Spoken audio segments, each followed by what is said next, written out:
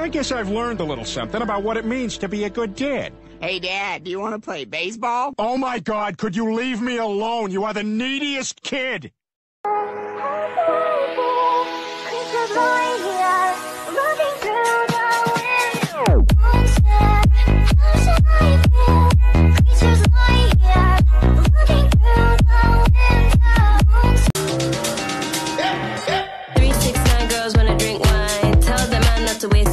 Waste your time. If the man broke, the man he a joke. So you gotta get loose with the henny and the coke. Three, two, one, girls wanna have fun.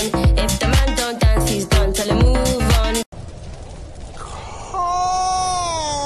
Happy birthday! It's not. Please tell me you had nothing to do with this. Why don't you blow out your candle? You've gone too far this time, Carl. What's that? It's hard to hear you over the sound of melting city. How did you even do this? A dollop of fairy dust.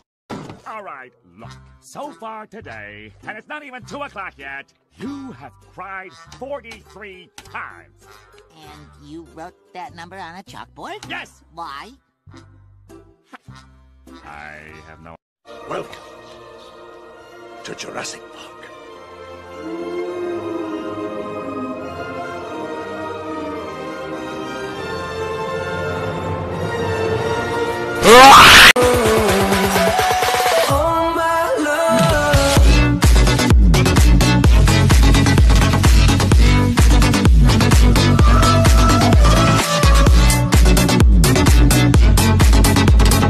Uh, Carl, why is the lifeboat all red and sticky? Well, I guess you could say it is red and sticky. Carl, what are we standing in? Would you believe it's strawberry milkshake? No, I would not believe that. Uh, melted gumdrops. no. Boat nectar. No. Some of God's tears. Tell me the truth, Carl.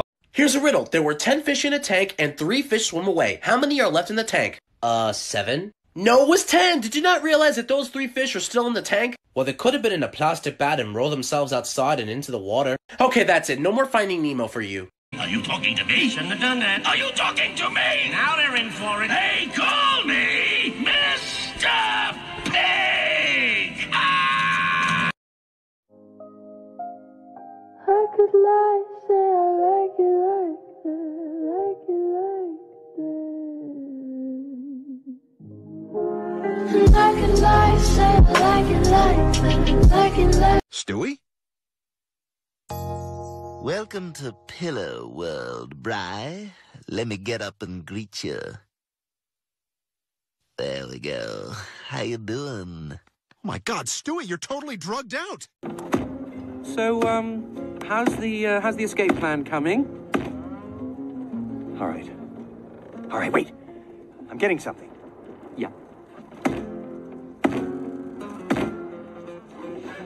I watched you fire a harpoon into the captain's face. That sounds dangerous. You were headbutting children off the side of the ship. That, uh, that must have been horrifying to watch. And then you started making out with the ice sculptures. Well, thank God that the children weren't on board to see it. Uh,